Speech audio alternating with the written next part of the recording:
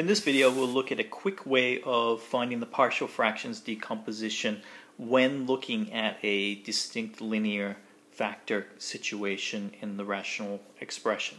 So in this case, I've got 2x plus 1 with three distinct linear factors.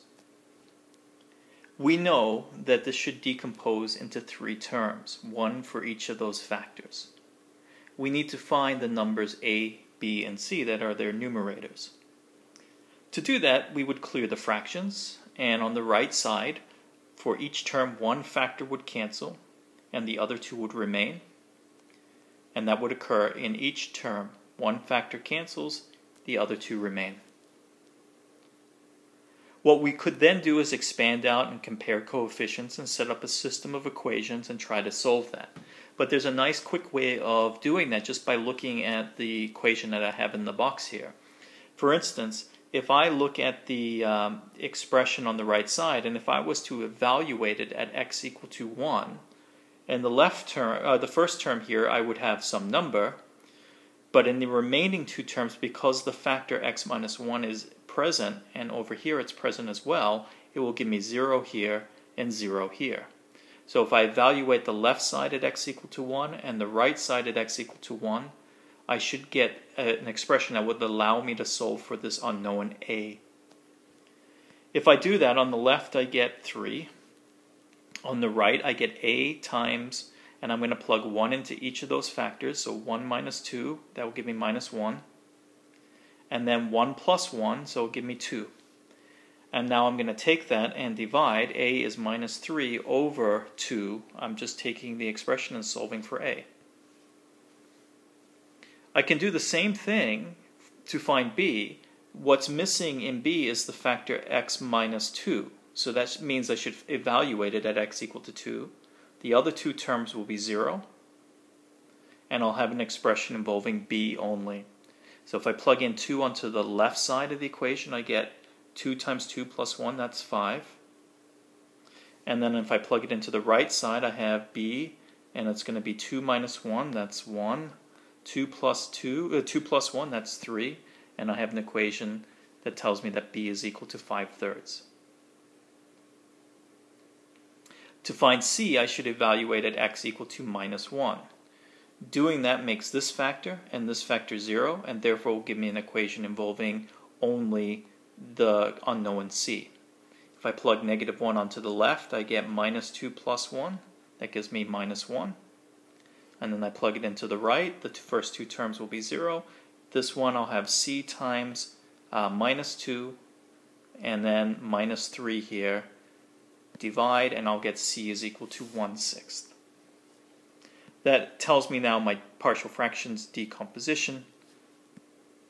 It's minus 3 halves, plus 5 thirds, plus 1 sixth, corresponding to each one of those terms. Now it's possible to even get those coefficients without even going to the trouble of first finding that boxed equation. What I could do if I want to find what a was, so here's a, it's over the x minus 1 factor. So I'm going to go over here to the left side and I'm going to cover up that factor x minus 1.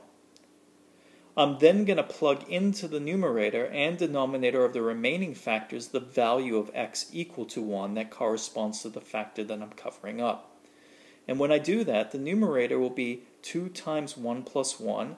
That was the 3 that we had on the left side here. And then when I plug it into the remaining two factors, I'll get minus 1 and 2. Those were the two terms or two factors that I had here. And I ended up having to divide by 3 and those two factors in order to find what a was.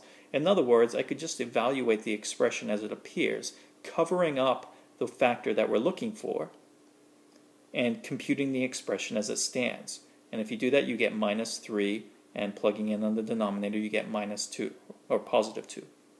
And you, you recover A. Let's just try it for B. In order to find B, I'm going to look at the term that it corresponds to. That's the one with x minus 2.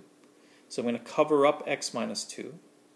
I'm going to plug 2 into the remaining parts of the rational expression. Up top I'll have 5 and then I'll have 2 minus 1 and 2 plus 1. That will give me 5 over 3 when I'm done, and that gives me the 5 thirds that appears here.